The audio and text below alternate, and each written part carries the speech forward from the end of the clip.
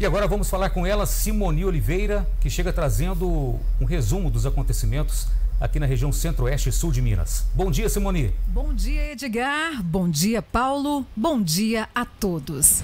Em Carmópolis de Minas, a Polícia Rodoviária Federal descobriu cerca de 17 quilos de pasta base de cocaína escondidos no painel de um carro na rodovia Fernão Dias.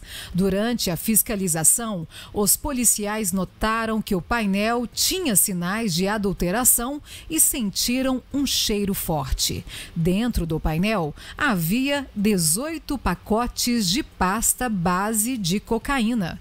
O motorista de 35 anos foi preso por tráfico.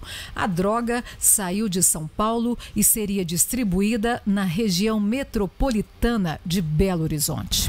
Em Araújos, no centro-oeste de Minas, uma caminhonete pegou fogo após bater em uma carreta e o motorista, que não foi identificado, morreu carbonizado na BR-262. O motorista da carreta ficou ferido. Segundo a Polícia Rodoviária Federal, a suspeita é que a caminhonete que seguia de Nova Serrana a Bom Despacho tenha invadido a contramão e batido de frente com a carreta que seguia no sentido contrário. Após a colisão, a caminhonete parou ao lado do acostamento e pegou fogo.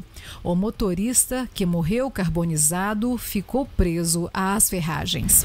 A Via Nascentes, concessionária que administra o sistema MG 050 BR 265 BR 491, iniciou a cobrança de tarifa pela totalidade dos eixos, suspensos ou não, dos veículos que transitarem carregados ou com documento fiscal em aberto em suas rodovias.